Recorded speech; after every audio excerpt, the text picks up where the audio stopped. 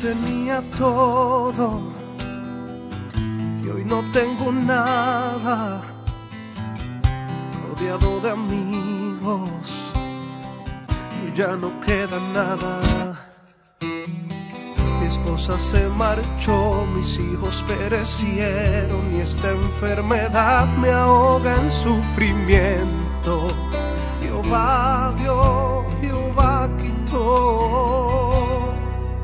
Sea tu nombre bendecido por los siglos de los siglos, desde ahora y para siempre. Amén.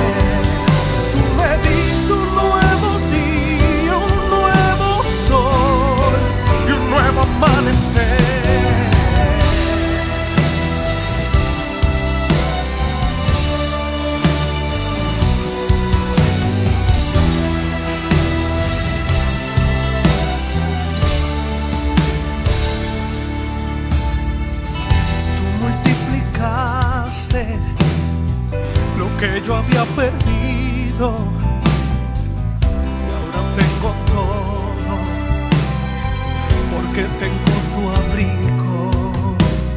Y no me falta nada, tengo en abundancia porque siempre puse en ti mi confianza al que no me falla.